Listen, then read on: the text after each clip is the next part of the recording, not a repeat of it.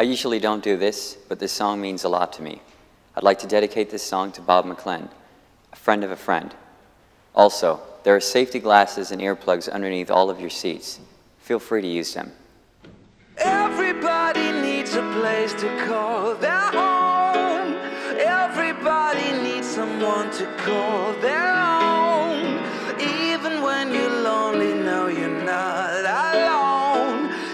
One of us, one of us, one of us, one.